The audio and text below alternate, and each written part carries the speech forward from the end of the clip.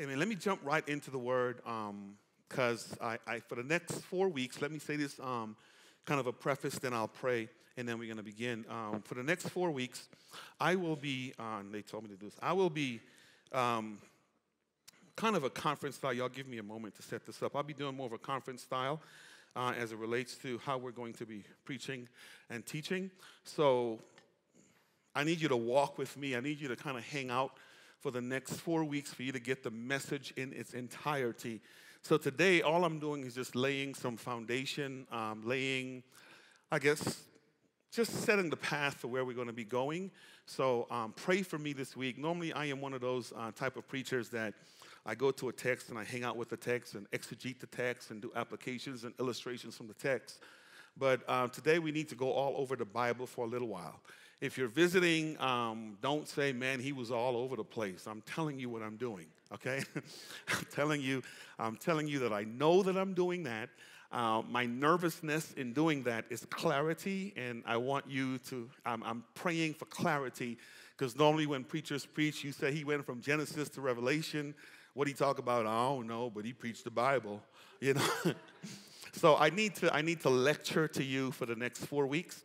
And the lecture, I think it's going to help you, it's going to help the church, it's going to help me, it's going to help us all align with God. Because um, I think Marcus is no accident. Um, I think Tracy is no accident. Um, I think Jeff is no accident. I want, I want y'all to hear me in, in what I'm saying. And um, the people that God are bringing back, the people, the new things that God is doing, it's no accident. And we need to learn how to hear from God. So I'm just gonna go flow this morning just for a little while, just to kind of talk through some things. And I'm, today I'm setting up next week. Next week I'm going to set up the week before, on and on and on and on, so he can go. So here's what I want you to do. I need you to come out on Wednesday night because Wednesday um, we get a chance to explain and clarify more of what I'm saying to you and um, it, Wednesday is going to really be like more conference style after we pray and allow God to have his way. So I need you to come to engage me and interact with me. Even if you hear something um, that's said this morning that might not be clear, that might not make sense, that you might even disagree with, uh, feel free to come and let's wrestle with that. Amen? So grab your Bibles. Yeah. Say that again. Oh, okay. Yeah. That's after the message. I'll talk about that. Remind me then. Thank you. Yeah, thank you. Uh, uh, Ecclesiastes chapter 3. Let's go there. And um, I want to begin there, and then we're going to pray and allow God to move and have his way. So take some notes if you need to this morning, just so you can kind of walk with us so we can hear what God is doing and what God is saying in our midst. Everybody say breakout. I'm gonna say it again. Say breakout. Good. Um, we, that's been our theme for the entire year, and um, God has me as a pla- at a place right now where we need to put nuts and bolts on that. So go with me to verse one. I'm just gonna read one verse, and then we're gonna walk through this to um, hear what God is saying and what God is doing in our midst. In a quick second. Eddie kind of, y'all bear with me just for one. Wow, tech team kind of showed me how to do this and I am messing up, so I'm going to get it right. And um, I don't want you to go to sleep. Maybe I can get Eddie to come help me real quick. Uh, we'll be all right. I don't know how to do it, so we'll be fine. Okay, let me read, and then let's go to work.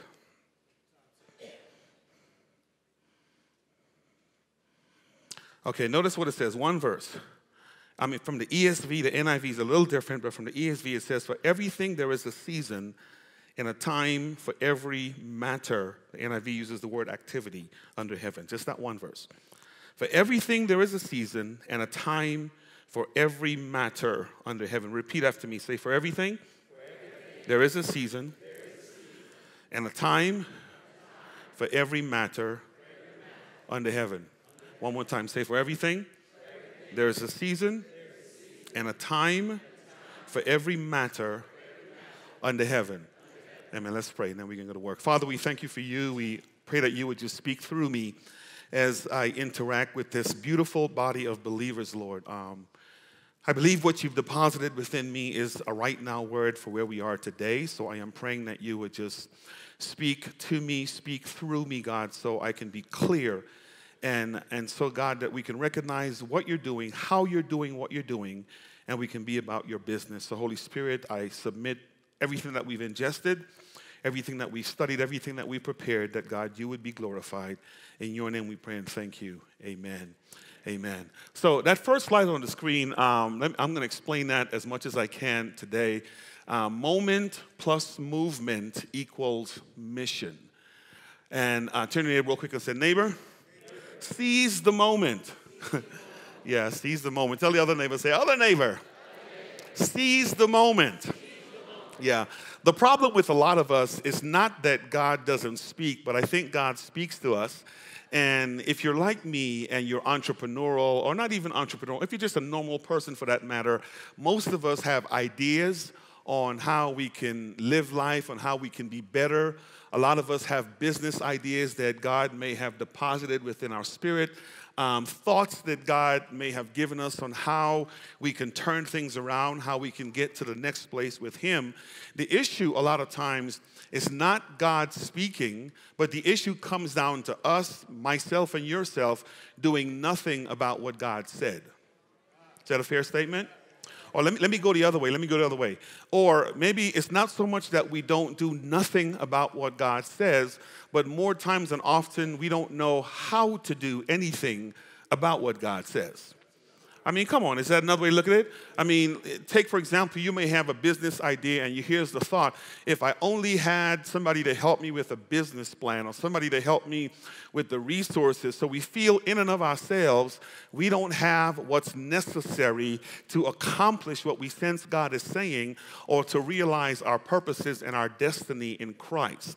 So I want to begin the whole purpose and the entirety of this series that we're going to talk about is to get to breakout, not only in church, but in our personal lives and the ministries that God has deposited within us, we need to learn how to seize the moment and turn that into a movement so we can accomplish our mission. That makes sense? So we need to learn how to seize the moment. Here's what Jesus says in John chapter 5, verse 17. He puts it this way He says, My Father is always at work. And then he says, Because my Father is always at work, he ends up saying, I too am always working. So here's what that means Jesus, on his earthly journey, did not do anything that God was not already doing. Very, very, very important statement. I want you to hear me say that because if you're here and you are a child of God, we should be just like Jesus and only do what God is already doing. Does that make sense? My favorite author, Henry Blackaby, takes it and he rephrases it a little differently. And he says, Find out where God is working or what God is doing, and then join God in his work. I'm going to put this on the screen in a little while, but my problem is I have an idea and I want God to come where I am, and I refuse to go where God is. Right? God, I have an idea, and I'm going to take it to the Lord in prayer. and the objective and the motive of my prayer is to move God on my time frame and bring God where I am as opposed to being where God is. Now, say grace moment. Say it again, say grace moment. Now, I want you to get this word in your phrase because here's what a grace moment is. A grace moment is God gracing us to see what He is doing while on mission in the earth. And then He allows us with the privilege to recognize what He's doing then he gives us the opportunity to receive the blessing of partnership with him. I want you to process this. I'm going to be very didactic this morning because I want you to understand. Let me read it again.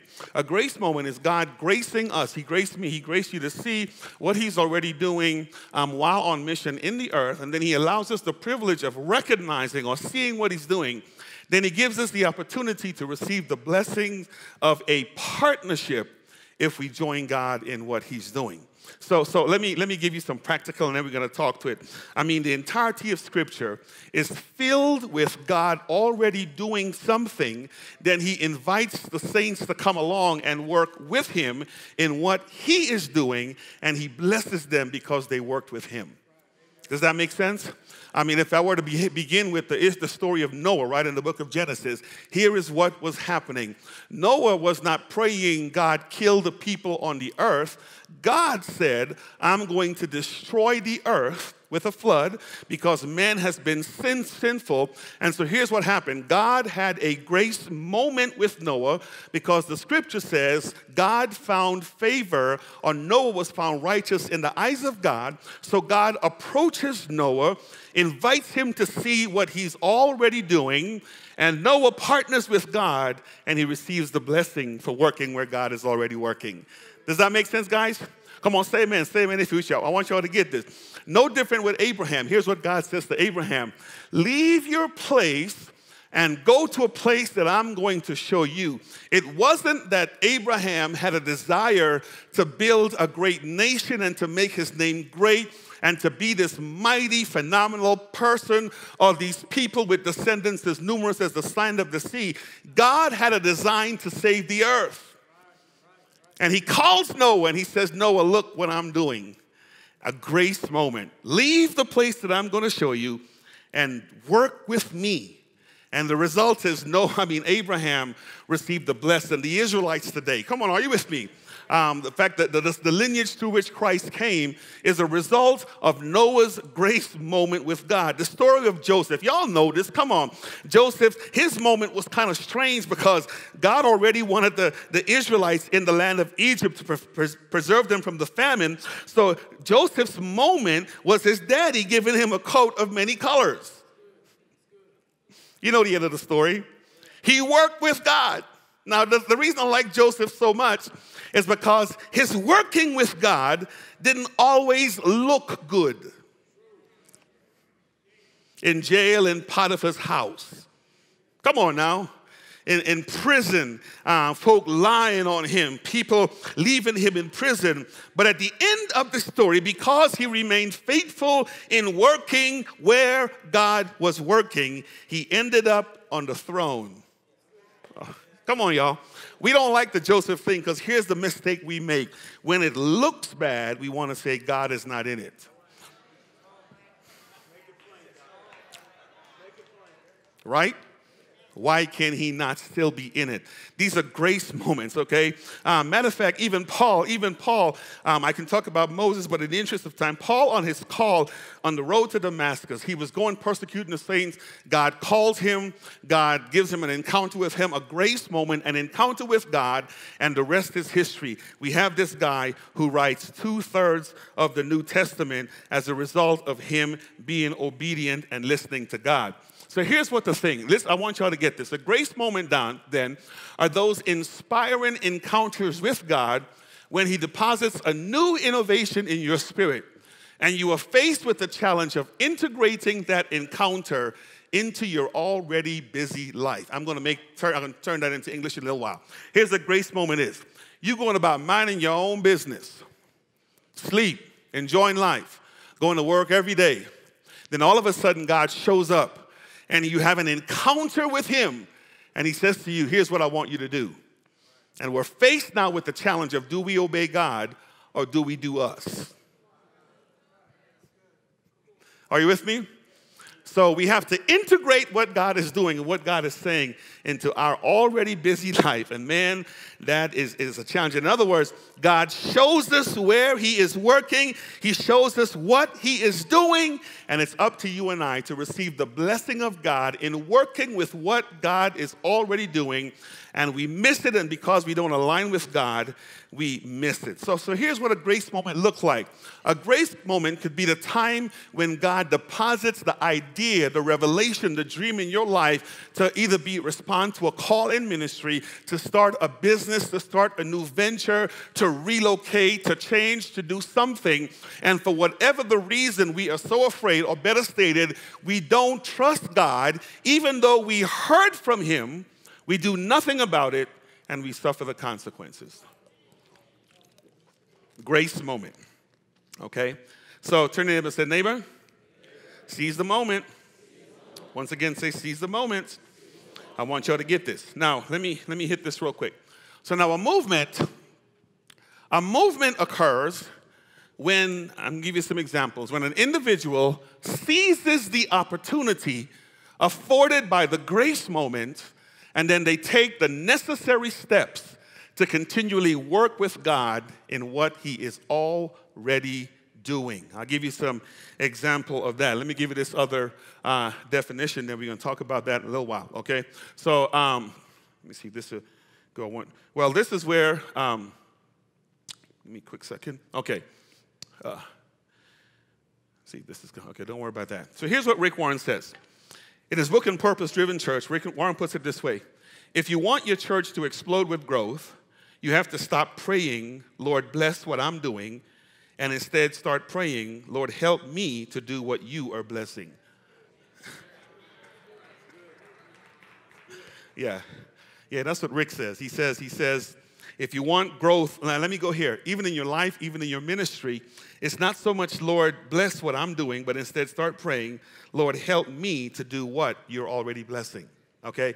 If I were to go back to the years of the civil rights movement, Martin Luther King's grace moment was his heart and his passion for a people that were being marginalized. Now, he didn't come up with this idea all by himself. God gave him a grace moment because God wanted people delivered, God wanted people set free. And this is what Martin did. He worked with God in what God was already doing, and that moment turned into a movement. That, you guys are tracking with me. I don't want to confuse anybody. Is this making sense? Okay. Um, let me give you a couple of examples, and then we can walk through this with, with some illustrations. So, movements then, movements come as a result of a grace moment or that encounter with what God is already doing. Now, here's my, my, my challenge. My challenge with the church is, is we're so busy having church that we miss the moments and because we miss the moments, we never get involved in the movement, or the moments never turn to movements. Okay? And the world now is reaping the benefits of where we should be the benefactors, but we're too busy in the church having church. Does this make sense? I mean, you look at all the secular agencies, when a crisis happens in the world, okay, they, they, they don't know what it is, but they naturally respond to the thing. And some of our greatest, greatest philanthropic organizations, I mean, Save the World or, or some of the greatest um, crisis intervention agencies that exist, they're, they're a movement today because of a moment in time in what God was doing, and they joined Him, and saved or not, they're reaping the blessing of what God is doing. Y'all confused. Here's how God says it I rain on the just. Yeah, yeah. It's the principle of rain. It's the principle of rain, okay? When it falls, if you have seed in the ground, the seed is going to reap the benefit of the rain. I wish I had somebody in here.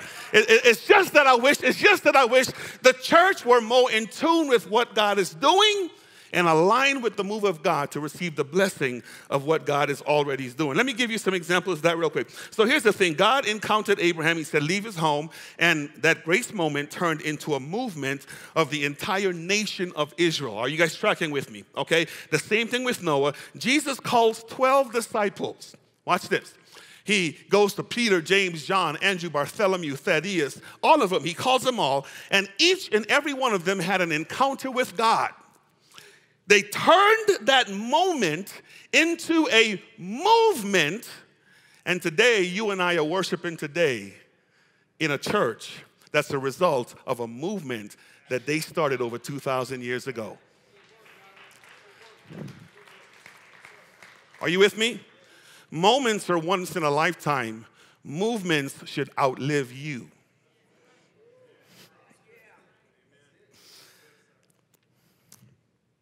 Let me, I'm being cautious with how I'm gonna say it, but I'm gonna say it anyway.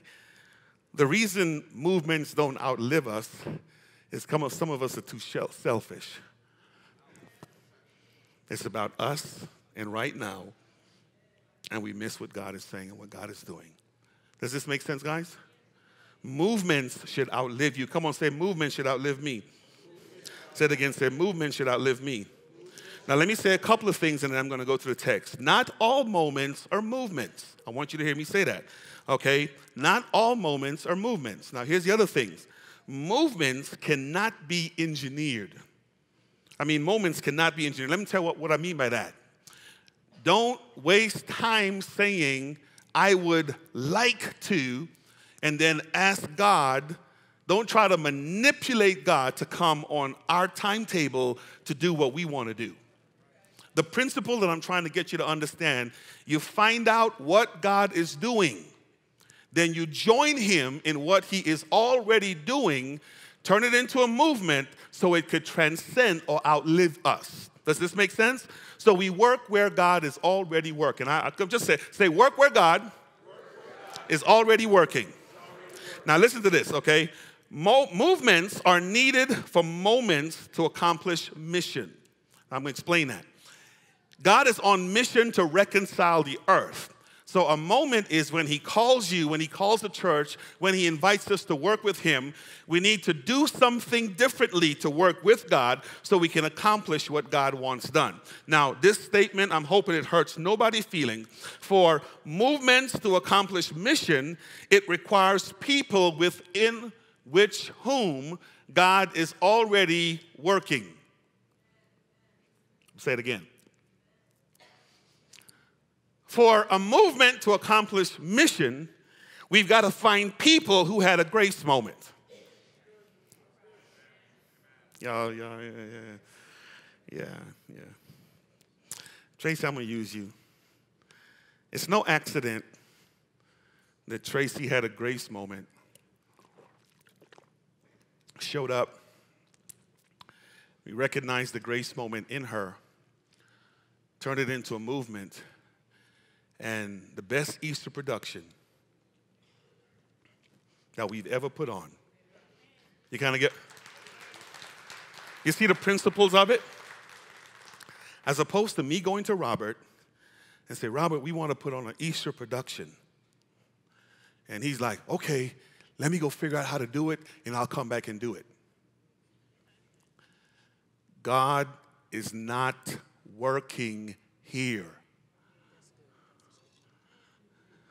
You find people within which God is already, yeah, you get it. Y'all get it. You kind of get what I'm saying, okay? It's the whole thing of trying to find out what God is doing and work with God where He is working.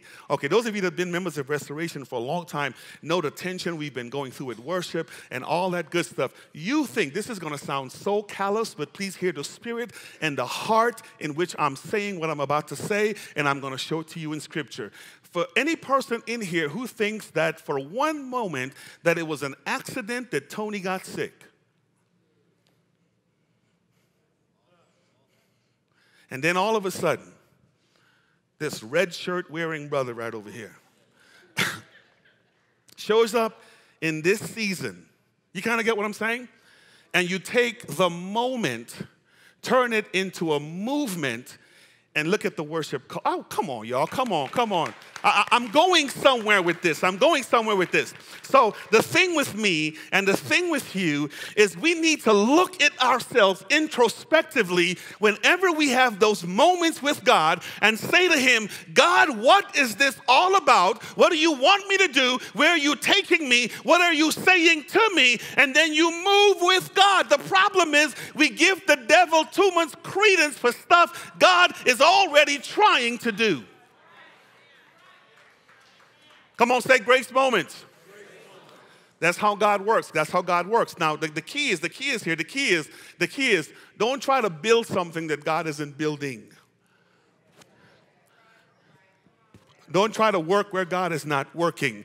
The reason a lot of our business ventures have already failed, and the reason we're not making it in business is because we saw somebody else do it and they were successful doing it, so we're trying to be like them. Could it be that God was working in them in that moment so they can turn it into a movement and it's not your call? I always try to say to folks, get your own business. Are you with me? Quit trying to mimic. Quit trying to mimic. Here's the reason I'm saying all that is because God is on mission to redeem the world, and He does it does not anticipate or expect that everybody in His church look alike function alike, and operate alike. We all have unique giftings. The problem with the church is because we see this person doing that, just like the secular world and the business venture, if they're successful doing it, maybe I ought to do it too. And we pray, God, anoint my voice so I can sing. God, anoint my heart so I can preach. God, bless me. Maybe that's not for you. So here's how the psalmist put it I'd rather be a doorkeeper in the house of the Lord than to try to be something that God did not call me or positioned or ordained to me. I'm going to say this now and I'll say it again at the end of the message. When this church aligns with God in the areas of giftedness, we will be amazed at what God will do. Are you hearing me? Now, let me say this. Let me say, I'm going to hit this in the text. One of my motivations for this sermon is the challenge that we're going through with our Christian Academy, our school. Struggle, it's been a struggle, it's been a struggle, it's been a struggle. And the issue is somebody say, Well, was that a grace moment? Was God speaking? I'll say, Yeah. Um, was it a time to turn it into a movement? I'll say, Yeah. But I'll say to you, the challenge is God needs to send people within which He's already working for the thing to get where God wants it to go. We got to be okay with that. Come on, y'all. We have to be okay with that for us to move with God and get to where God is going. So let me show you this in the text now. Go with me back to Ecclesiastes, and let me show you this, and I'll explain it this way, and then I'm going to move through this so you can hear and trust, because there's a lot of other scriptures I want to take you to. Notice what Ecclesiastes says. For everything, there is a season, and there is a time for every matter or the, I'm steal the, the um, NIV's word, activity under heaven. Say this out loud. Say a season for everything, season for everything. and a time for every matter. For Say it again. Say season for everything, season for everything. and a time for every matter.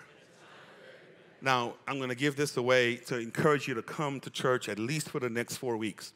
This is what you're going to hear three weeks from now, two weeks from now. Um, that the season, but the time wasn't yet. And I'll, I'll hit that in a little while, okay? So two words. Um, the, word, the word for season uh, is the word zeman, which is the Hebrew word zeman. And let me tell you what that word means, and I'll go into time.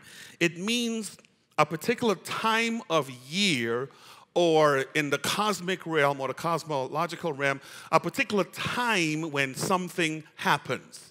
I'll give you some examples of that.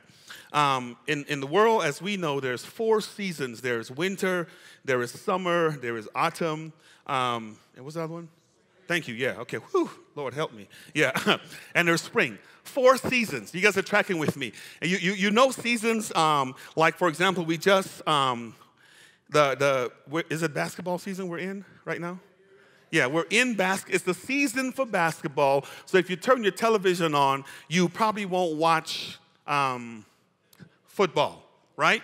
Now, we just finished football season, and it was football season. Everybody tracking with me, right? Now, this is going to jack you up, but it was not North Carolina's time.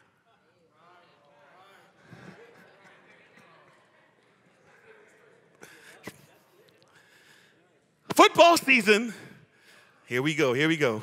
But it was Broncos time. Yeah, I expected that. Yeah, yeah, yeah, yeah, yeah. You kind of get what I'm saying. I want y'all to track with me because so here's what the author is saying is there are seasons when God is doing things in the earth realm and even within the season everything must align with a unique time within the season. So here's what we say theologically Lord, it's my season. It's my season. I'm about to be blessed. No, no, because it's season doesn't mean your time is in that season. we we we we're gonna lock this up. So so so here's what happens. Within seasons, now we have moments or times when God will begin to speak. And hear this out carefully. We have to turn those moments into movements so we can accomplish mission. Let me explain. I'll give you, well, let me give you two more. Because it's hurricane season, doesn't mean that a hurricane is happening at this time. But it's still hurricane season. So when I go to the Caribbean diving, I go hurricane season because it's cheap and everybody's afraid. so I get cheap tickets, fancy resorts, because I understand seasons and times. So here's what I do before I go diving, I look on the horizon for the cloud.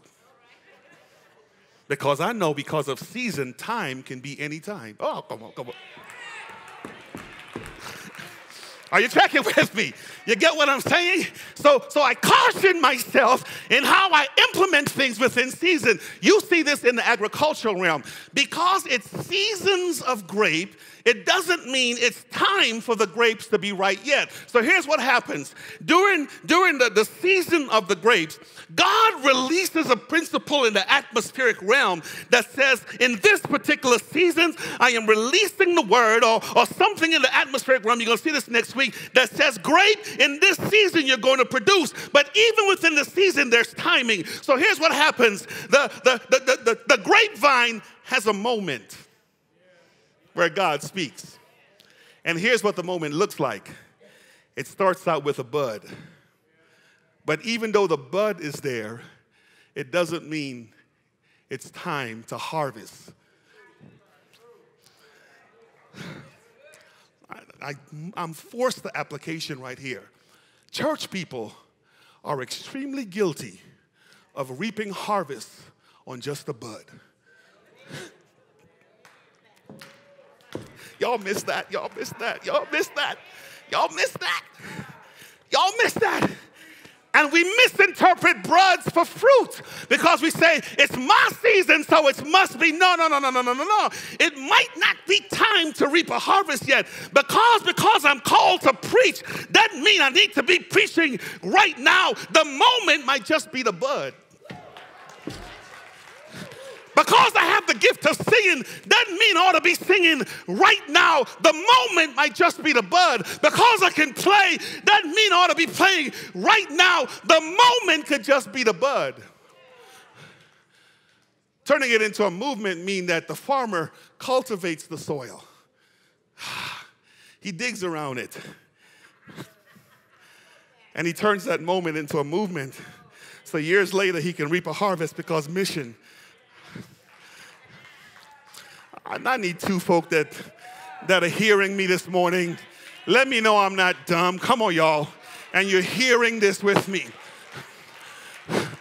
My problem in ministry, in life, in business is because I've so misinterpreted the word that I speak prophetically into my own life and I start saying things like I'm the head and not the tail, I'm above and not beyond, I'm in front and not behind. And because it's the season, I'm looking for harvest and God hasn't even provided the bud yet. Come on, talk to me, somebody. And when it doesn't happen in the time that I think it ought to happen, Here's what happens in that germination process character is birthed into that fruit.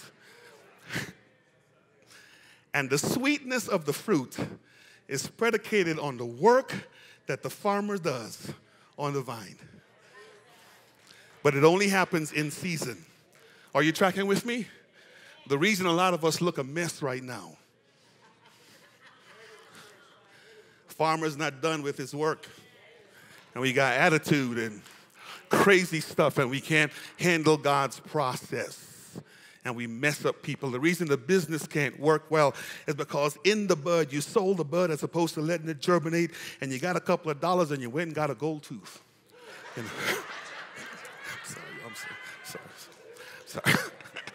I'm sorry, y'all. I'm sorry. I'm sorry. I'm sorry, y'all. I'm sorry. Let me say it differently. A gold chain, a gold chain, yeah. and, and, and, and we sell the bud. Listen to me. We sell the bud. Now, ain't no Beamer. Beamers only come when you got fruits. Yeah, I'm just kidding. I'm just kidding. See, they getting back at me. It's okay. It's good. It's good. It's good. But here's the point. We sell the bud and wonder why we could never get to fruit. Because we take the moment and try to prosper on the moment.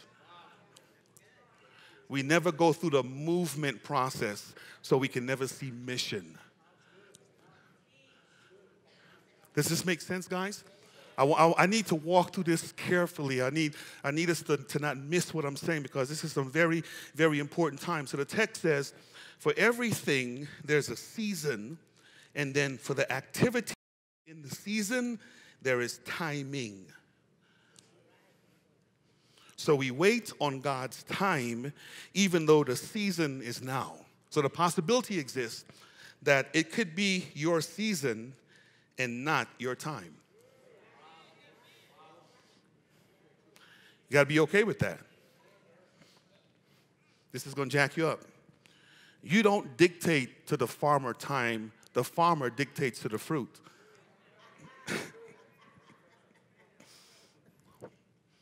Everybody okay with that?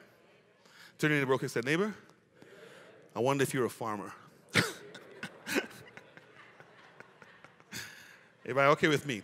Okay? Now, now, let me, let me, uh, so, so seize the moment. If we're to seize the moment, if we're to seize the moment, we must understand the season and the timing of God. I, I remember as a young preacher, I was called to preach um, in I mean, this is, some of y'all wasn't born yet, back in 1988. And as a preacher, man, I'm hungry to preach. Put me up, pastor, put me up, put me up, put me up, put me up, put me up, so on and so forth. A young bud, young, don't know what I'm doing. But I thank God for the men that were in my life that taught me how to wait for my time. Let me show you how moving out of time messes you up. You hear me say time and time again, that Kotane and I, for the first 16 years of marriage, was a mess. Y'all heard me say that. I mean, it was nothing but not good. Now imagine I'm preaching and I'm pastoring during the worst years of my marriage. Imagine what I was doing to people.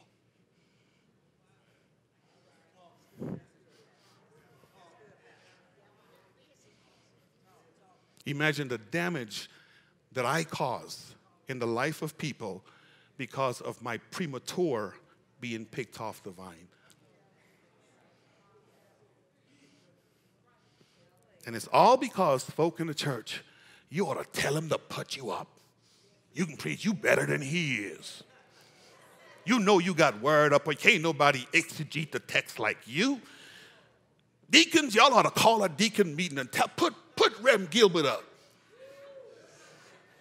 Go pick him off the vine before the gardener gets done doing all the work on him. And that's what happened. That's what happened. Jacked up marriage. Come on, y'all. Jacked up church. Hurt people. Doing damage to people. Excuse the metaphor, because the wine was served before its time.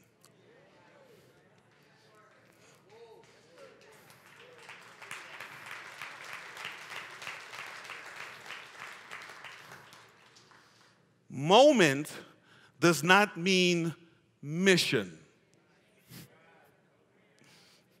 Moment means process to organize for movement so that in time mission can be accomplished.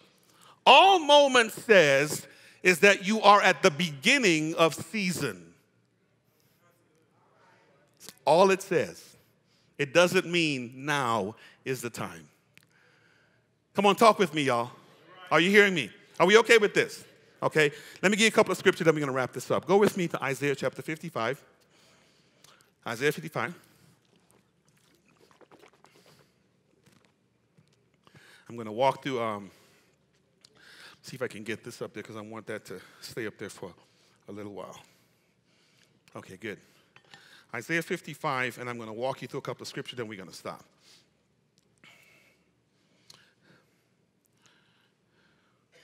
And jump down to verse 8. And I'm going to read fast. So I have a few scriptures to show you. Yeah. You guys are there?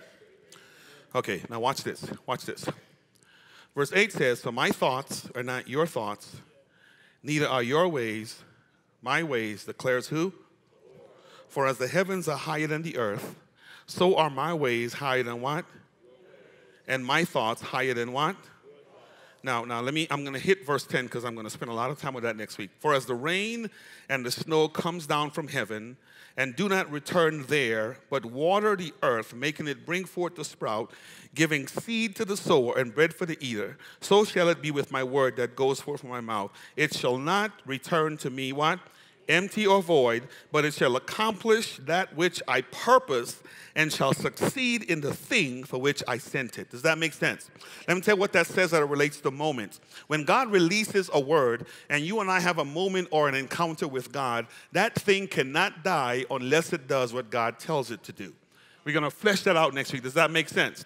And the only reason is because God's ways are not our ways and his thoughts are not our thoughts. Go over to Jeremiah real quick. Jeremiah chapter 1, next book over and go to verse 5. I'm going to show you all some things. I'm going to put these scriptures together. Okay, you there? Okay. I'm sorry, I have an electronic device so I can go fast. Um, I want you to hear these passages. You guys are there with me? Look at what verse 5 says. Before I formed you in the womb, I what? And before you were born, I ordained or consecrated you, and I appointed you as a what? Prophet to who?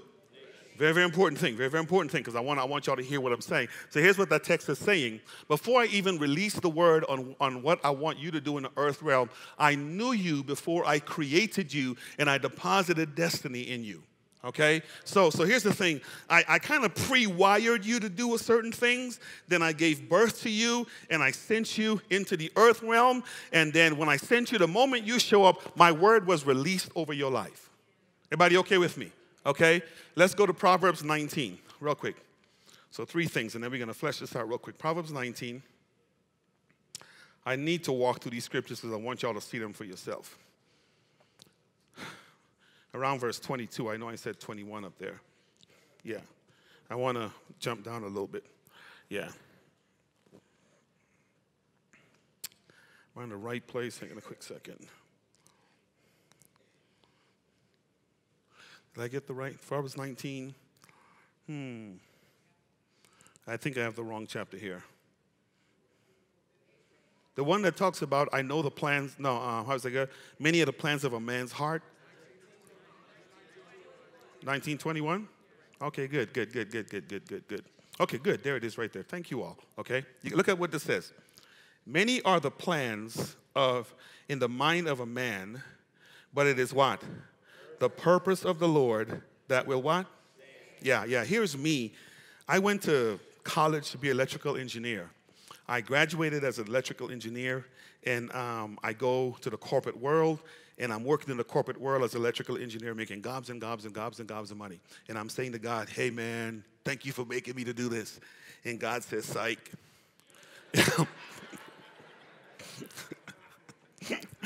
Um, I just needed you to learn some technology stuff.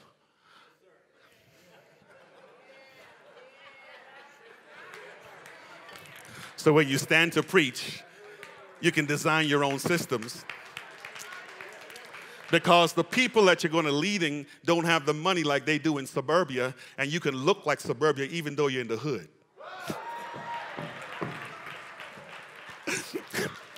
So I'm like, you ain't had to let me waste all that money in college. Hey, I paid you back, didn't I? Right? And then on that continuum, he calls me, even though I had plans, it was his purpose. So you better check your business plan against God's purposes. Come on, is this making sense? You better check your ideas against God's what? Purposes. Very, very important because He knows the plans He has for us. He ordained us before we came into the world. And even though we may have plans, He sets it in place. Now go to Acts chapter 17. This one will really mess you up. Acts chapter 17. I'm almost there. Acts 17. What verse is that? 21. Yeah. Yeah. Yeah. Jump down to 22. Yeah, let's look at 22 interest of time. And I like this in the NIV, but I'll read it in the ESV and interpret. You guys are there?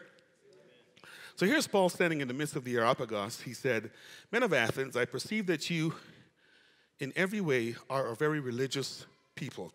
For I, as I passed along and observed the object of your worship, I found also an altar with the inscription to the unknown God.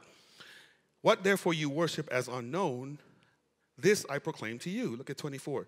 The God who made the world and everything in it, being Lord of heaven and earth, does not live in temples made by man, nor is he served by human hands as though he needed anything, since he himself gives to all mankind life and breath and everything. Verse 26 And he made from one man every nation of mankind to live on all the face of the earth.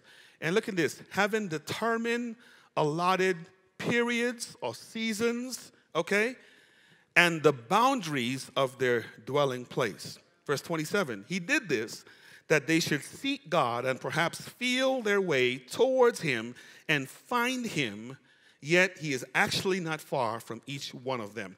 Let me tell you what verse 26 says in the NIV. It says, It is that He has made Him from one man from every nation of men to live on the face of the earth, and He determined the exact places where they should live. Let me tell you what that means. It's like God is this great cosmic chess player that knows to position the pawns and the kings and the bishops and the queen exactly on the spaces on the board that he needs them to be. So in the end his mission can be accomplished. So here's how i want y'all to get this with me. Nobody in this room lives in denver colorado in this season at this time by accident. I want you to hear me, okay? Because I want us to understand the moments of God so we can turn those into movements so we can accomplish the mission of God. I have this funny thing that I say to my wife, and we joke about this all the time. I was in the Air Force for four years, and I was um, in, I think it was Lackland Air Force Base. You go through basic training. I came to Lowry for tech school, and then subsequent to Lowry, I was scheduled to go to Mather Air Force Base in Sacramento, California. I had orders, I had everything, bags were packed.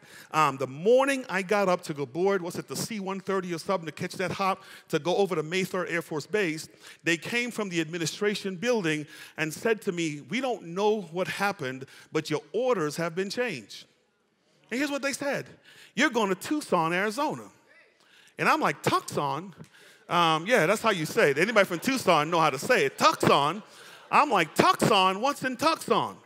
Well, I went to Tucson and I got off the, the plane back then. They didn't have jetways. I got on this runway and it was so hot. I'm like, Lord, you didn't have to send me to hell now. I thought I was living right.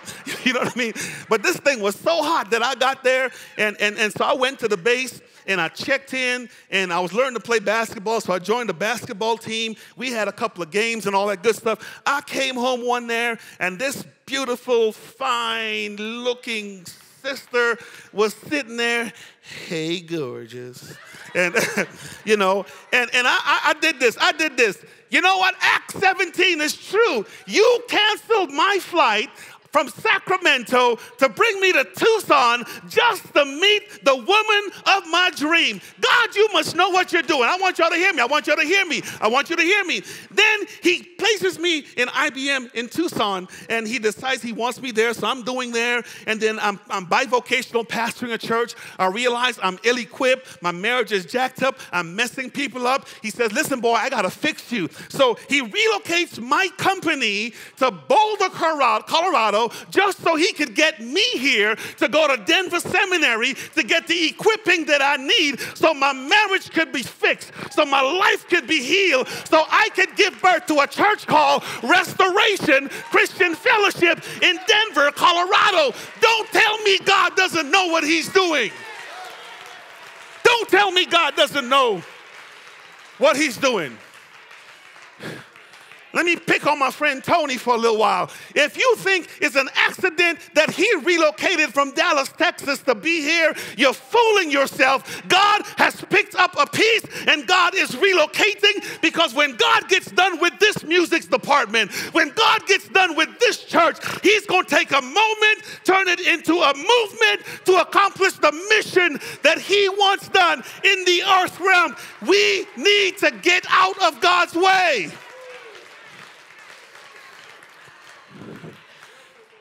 Here's what we do Marcus, when God is moving, we want to spend time analyzing God as opposed to working. Yeah, y'all got it. Y'all got it. Y'all got it. Are we going to miss God sometimes? Yeah, because we're not God. You kind of get what I'm saying? But when God gives you a grace moment, you better stop and ask God what you're doing. Are you hearing me? Let me go here. And, and I'm going to just be naked and transparent with you all, and I don't want to offend nobody in this place. Listen to me carefully. Our academy was a hot mess. Hot mess. When I say hot mess, you know, hot mess. just don't say it out loud.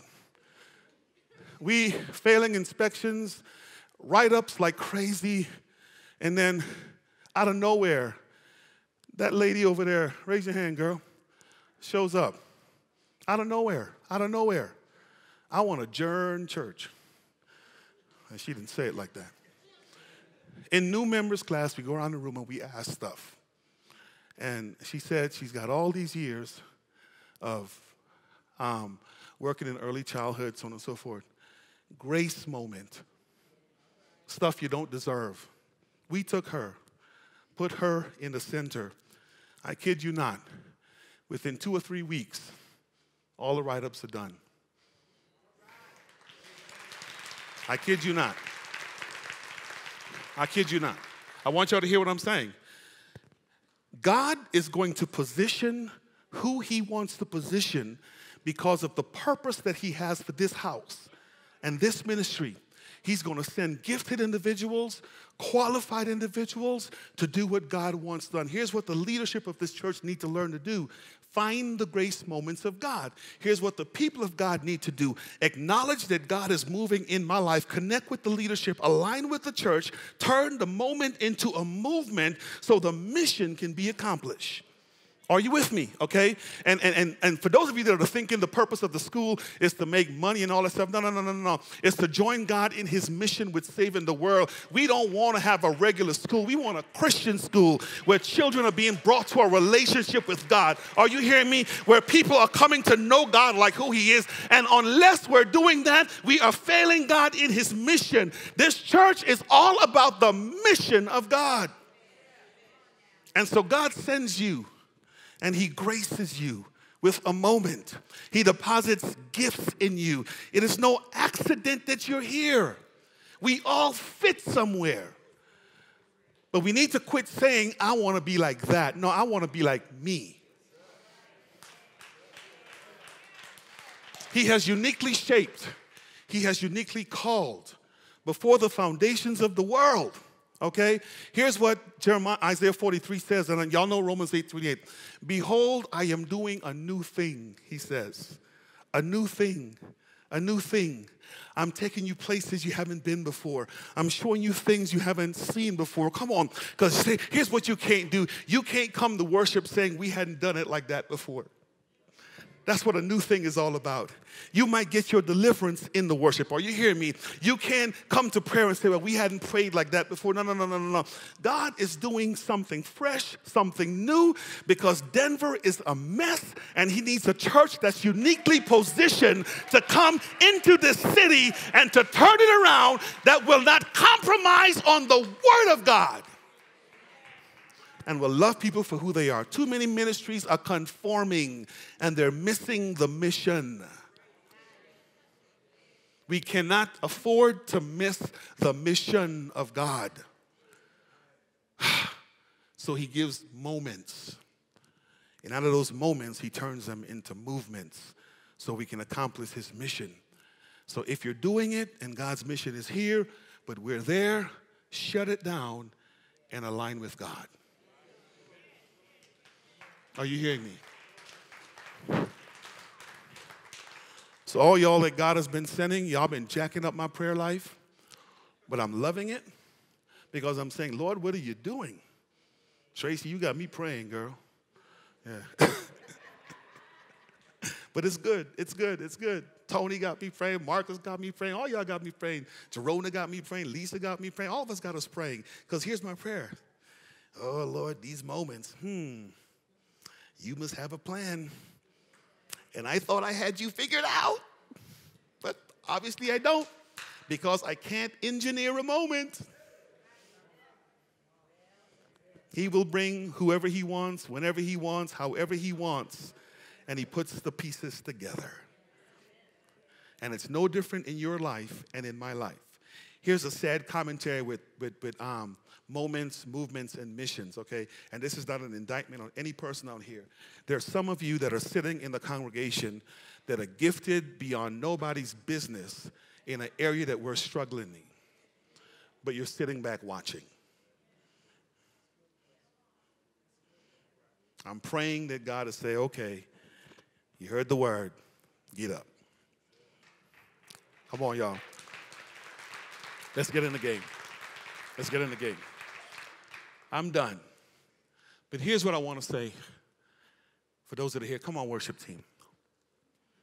I want us all, the reason I, I, I, God is laying this message on my heart is twofold that we can begin the process of searching ourselves and saying to God, number one, God, let me be sensitive to your moments in my personal life. What are you doing to me personally, God, that I should be cognizant of? And secondly, in my professional and my ministry life, God, what are you doing right now that you're inviting me to turn it into a movement so I can work with you? And I want you to take some time just in prayer. We're going to flesh this out a little more next week as we kind of walk through this. But just go to God in prayer. And if you're here and you don't know God as personal Lord and Savior, here's, and I know we're a little over time, but be patient with us. Here's my prayer that you begin the process of saying, God, I'm seeing that this begins with an intimate, personal relationship with you. I need to invite you into my life. I need to be saved. I need to know you like that. And if you're here and you have not said yes to God, this is your moment. this is your encounter. This is the voice of God speaking. Hearken not your heart and turn that movement into a movement, a lifelong walk on the spiritual journey with God to accomplish God's mission in your life. So I'm inviting the saints to prayer as your head bow, bow with your head bow your eyes.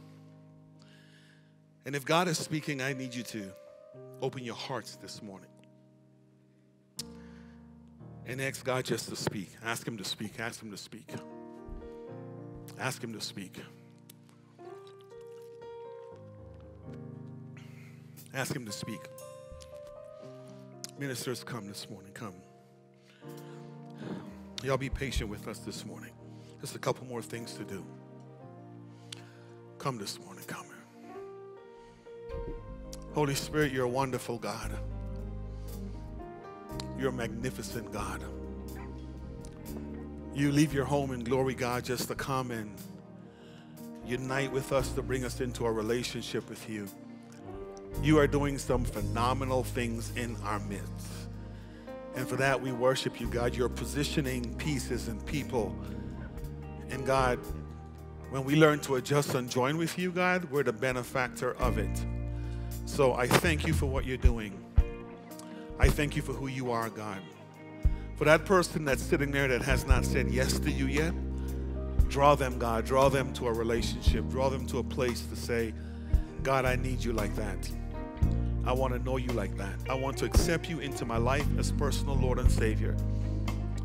And then, God, for that believer, God, that's been sitting on the gift, had the moment, but haven't converted it into a movement to establish a legacy that results in mission, God. Draw them, God. Let us all repent and say, God, use me. God, use me. Because I'm here for a purpose. I'm here for a purpose. I'm not just here to warm the bench. I'm not just here to attend good worship and, and a good word and go home. I am here for a purpose. So, Holy Spirit, be God in our lives, be God in our midst. Thank you for what you're going to do. You're a wonderful God, Lord. Draw. In your name we pray. Amen.